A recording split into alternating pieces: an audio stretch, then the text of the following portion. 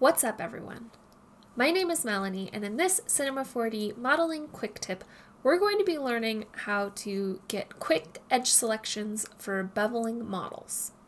When I first learned to model, I was selecting every edge I needed to bevel individually. And of course this works, but you can massively speed up your workflow by selecting all of your edges at once. In order to do this, with our object selected, we want to first go into Edge Mode. Then we want to access the Phong Break selection, which we can find here under Select, or we can use the hotkey, which is UN. And you can see all of the edges that the Phong Break selection has detected have turned blue. So to actually select these edges, we want to choose this option to select all. Now we have all our edges selected, which you know because they turned yellow. Now this isn't perfect, and sometimes this will miss an edge, depending on how complex your model is. So to fix this, you can either mess with the Phong angle under options, or usually I just double check my model and manually select or deselect edges if I need to. So, with all our edges selected, we can bevel as usual. You can see without beveling, when we turn on the subdivision surface, it doesn't keep our cube shape at all and rounds it way too much.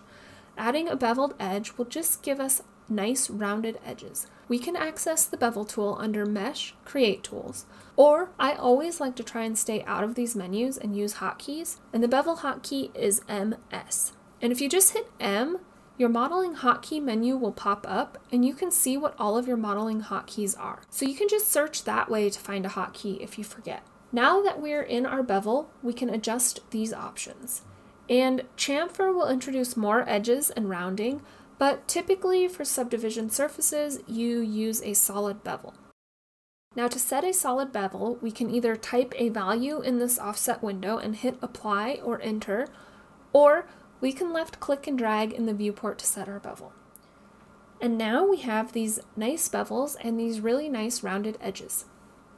Now you may have to go into your model and clean up corners or play with your bevel mitering options, which you can see change these corners.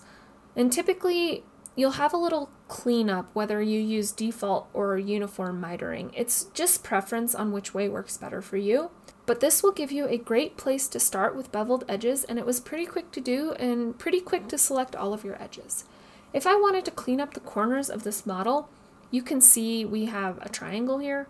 And it may not matter, but if you're a perfectionist like me, I would definitely want to clean this up.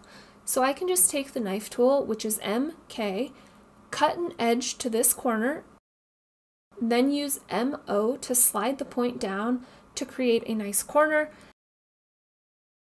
and dissolve these edges using MN, and then turn this corner into quads.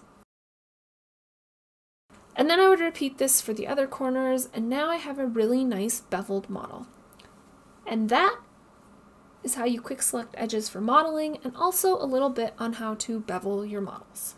Thank you so much for watching. Once again, my name is Melanie. You can find me at MoGraphMel across all the social media channels. I hope you all have an awesome week. And until next time, happy animating.